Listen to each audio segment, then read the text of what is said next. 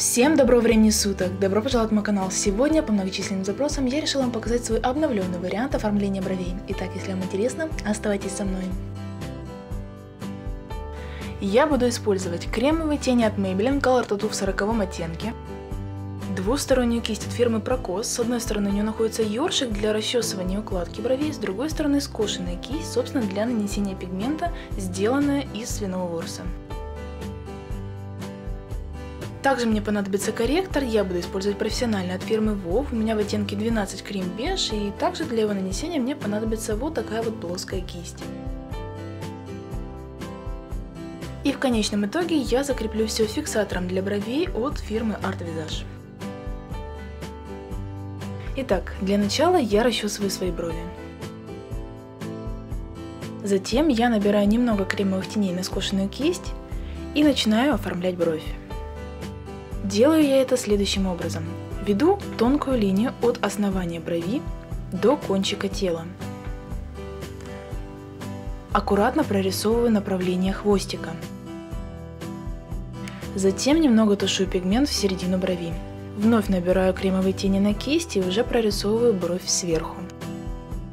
Особое внимание я уделяю излому. Чтобы лицо не казалось злым, я закругляю его, а не делаю острым.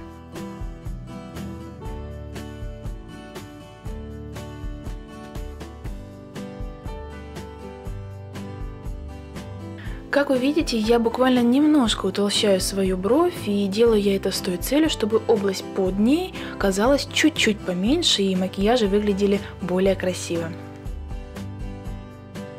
Затем я вновь расчесываю свои брови щеточкой для того, чтобы равномерно распределить пигмент кремовых теней по всей брови.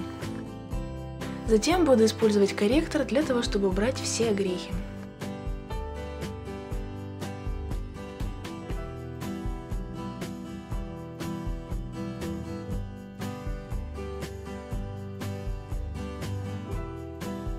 И последний шаг, я все закрепляю фиксатором для бровей. К слову, делаю я это крайне редко, поскольку кремовые тени от Maybelline достаточно стойкие и, в общем-то, в дополнительном закреплении нуждаются крайне редко, разве что в летнее время или в очень влажную погоду. Ну вот и все, как видите, такой вариант оформления бровей очень прост и занимает буквально несколько минут вашего времени. Конечно, такой вариант будет просто идеален для девушек-шатенок, брюнеток, в цвете волос которых нет рыжего пигмента.